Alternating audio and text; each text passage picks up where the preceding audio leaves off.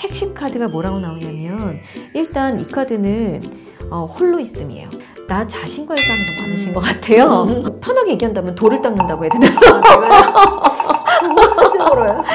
새로운 재미가 없는데 어떻게 찾아가야지만 되지라고. 그 이제 말씀 들으면서 그 이제 지나갔던 이제 몇 년의 그런 것들이 막 이렇게 파노라마처럼 지나가는 것 같고 어, 같이 일하는 사람들의 얼굴이 막 이렇게 생각나고 음, 되게 많은 생각을 하게